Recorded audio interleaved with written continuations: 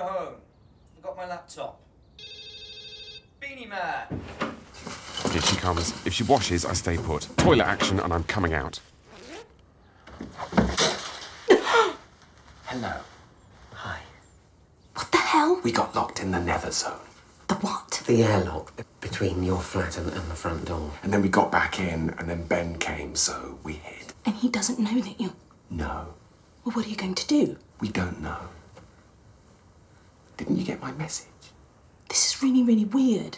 You're in my shower? No, Zahra, it's not some weird thing. We're not touching ourselves or touching each other. My boyfriend's out there. I know, and I guess this might be a good time to, as we discussed, break up with him. I mean, he might leave all crying, and you know, everyone's cushy. I can't handle this right now, Jeremy. I think we should put the whole thing on ice. I mean, us dancing on ice? No, like they put dead bodies on ice. Is this about last night? Because I can do better.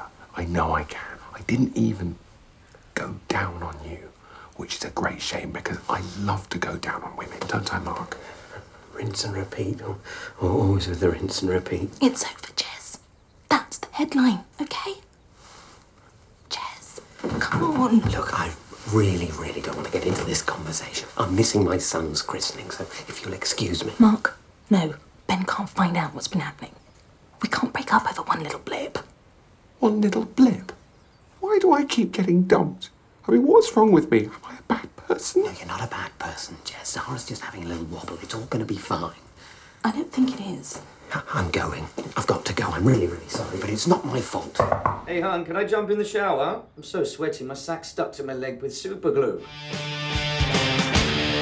Yeah. Hey, Mark, it's working. We've cracked it. Um, we should sell these. Periodical.